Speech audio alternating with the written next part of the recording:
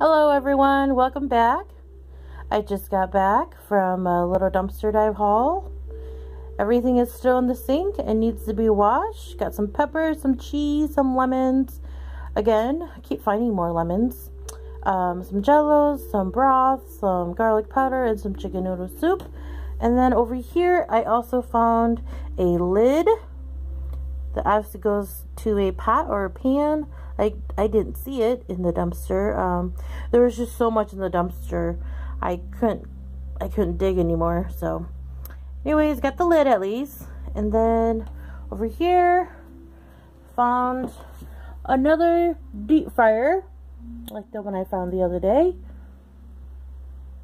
And also I found some puck lights, six set with a remote with one battery.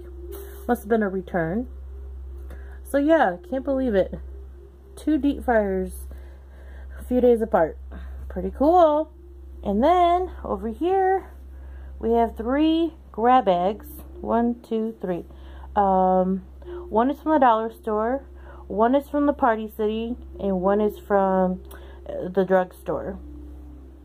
And then over here at Pet Plus, a PetSmart, I'm sorry, we found a reptile lamp stand and on the note there says it's missing clamps. So I haven't even looked yet. Pretty cool.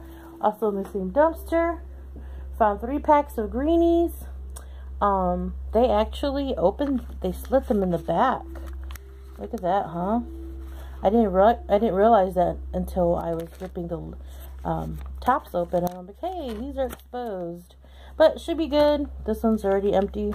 I emptied them into the dog uh, treat container already. So, yep. Those are good to go. They already have their treats. Didn't you girls? Yeah. Anyway, so yeah, great little dumpster dive haul today. Not a bunch, but definitely excited for the three grab bags. So that would be in a separate video. You guys, thanks so much for stopping by.